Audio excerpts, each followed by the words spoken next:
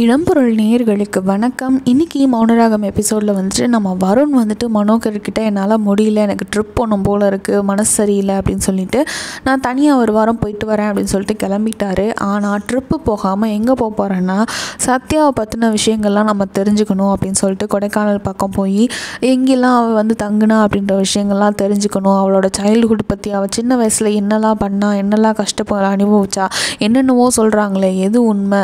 அவளுக்கு சப்போர்ட்டிவாக நம்ம இருக்கணும் அப்படின்னு சொல்லி சத்யாவுக்கு சப்போர்ட்டிவாக அவளுக்கு என்னெல்லாம் நடந்துச்சுன்னு பார்க்கணும் அப்படின்றதுக்காகவே கிளம்பியிருக்காரு. வீட்டில் சொன்னால் கண்டிப்பாக மனோகர் வேணான்னு சொல்லுவார் அப்படின்றதுக்காக அதை சொல்லாமல் ட்ரிப்பு போகிறேன் அப்படின்னு சொல்லிட்டு வந்துடுறாங்க.